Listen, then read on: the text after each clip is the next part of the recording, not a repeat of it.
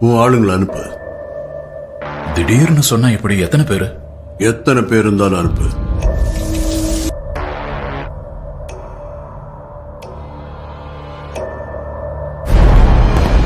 நீ யாருக்கிட்ட மோதிருக்கேன்னு உனக்கு தெரியல? யார்கிட்ட? அவன் இதுக்கு முன்னாடி நமக்காக நிறைய வேலைகளை செஞ்சான்.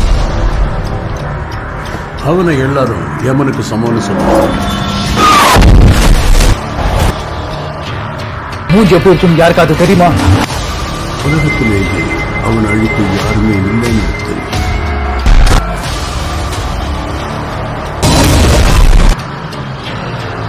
அதனால மொத்த ரெண்டு பேரும் மொத்த கூட்டத்தையும் அவன் அழிக்க அனுப்பி